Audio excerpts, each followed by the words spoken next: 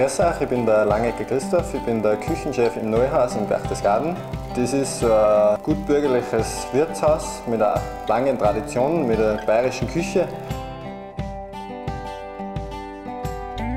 Wir haben frisch gebratene Enten, Krustenbraten, Haxen, aber auch ein bisschen sommerliche Gerichte mit Sommersalate mit Pfifferlingen und Hühnerstreifen oder Saiblingsfilet mit Salat.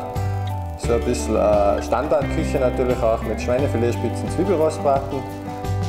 Ja, draußen haben wir einen wunderschönen Biergarten mit Kastanienbäumen und herinnen das mit einem alten Gewölbe.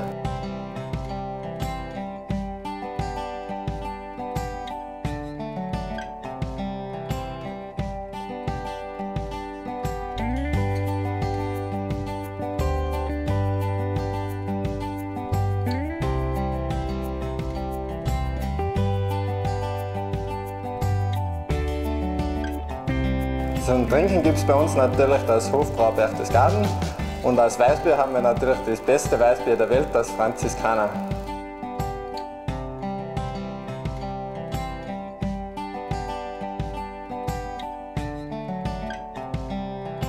Wir haben täglich von 10 Uhr geöffnet, das ganze Jahr durch und im Sommer haben wir freitags immer einen super Grillabend mit Live-Musik.